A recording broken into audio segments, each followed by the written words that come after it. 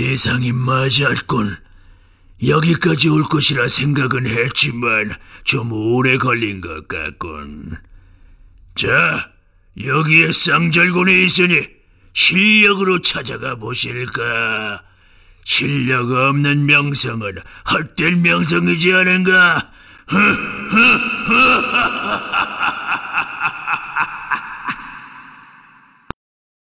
소녀이 좋아하겠으셔. 자, 이 흐물거리는 양반아, 어서 쌍절곤을 내놓으셔!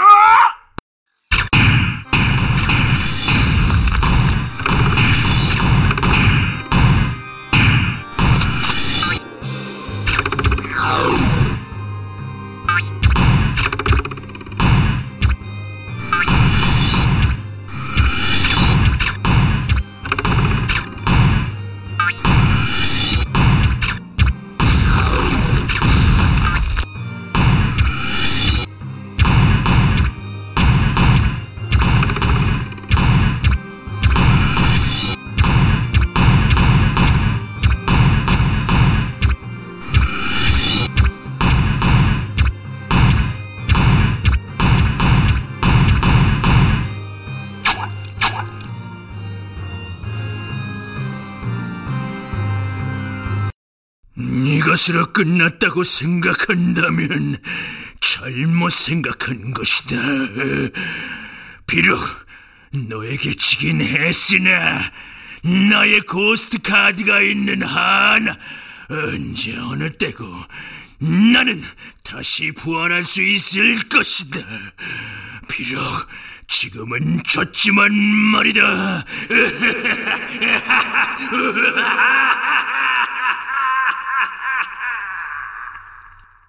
소녀, 보셨쇼? 나 팔개가 이런 위인이란 말씀이셔. 의리에 살고 의리에 죽는다는 팔개 가문의 전통을 이제야 아셨죠? 저팔계는 자신이 봉인한 아이안드로 카드를 보고 한바탕 웃었습니다. 거봐, 소녀, 내가 소녀의 쌍절곤을 뺏어간 놈을 손봐준다고 했죠, 안 했죠?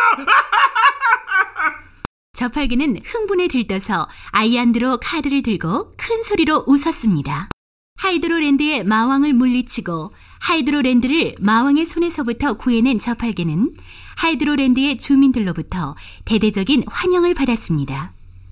마을 주민들은 저팔계에게 자신들의 왕이 되어달라고 요청했습니다.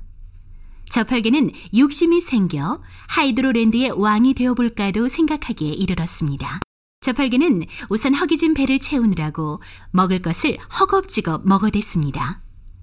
마을 주민들은 저팔계에게 왕관을 씌우고 자신들의 왕이 되어달라고 하였습니다. 저팔계는 마을 사람들에게 자신이 봉인한 아이안드로 고스트 카드를 보여주었습니다. 순간 마을 사람들은 저팔계에게 절을 하며 경배의 표시를 했습니다. 저팔계가 자신감에 빠져 있을 때쯤 삼장법사와 사오정 미스터 손이 저팔계의 앞에 나타났습니다. 거보셔, 소냥. 내가 쌍절곤을 훔쳐간 마왕을 혼내준다 그랬죠? 팔개야, 부처님께서 자비를 내려주시어 우리를 천계에 살게 허락해 주셨다. 저팔계는 자신을 왕 대접하는 마을 사람들을 두고 떠날 수가 없었습니다. 저팔계는 봉인된 고스트 카드를 주고 자신은 하이드로랜드에 남겠다고 했습니다. 팔개야, 이곳은 이제 지상과 천계로 통하는 문이 닫힌다. 만약 이곳에 남는다면 우리들을 다시는 볼 수 없을 게야. 저팔계는 다시는 볼 수 없을 거라는 삼장법사의 말에 고개를 숙이고 고민을 하기 시작했습니다. 아야야야, 아, 소녀 이거 너무한 거 아니셔? 난 여기에 남고 싶단 말이셔. 조용히 해! 잔말 말고 따라오기나 하라고! 천상으로 가는 구름 계단 뒤로 평화를 되찾은 하이드로랜드의 아름다운 전경이 펼쳐지고 이들의 봉인 여행도 아이안드로를 봉인하는 순간 끝이 났습니다. 저팔계는 미스터 손에게 끌려가면서도 싫지 않은 기분이었습니다.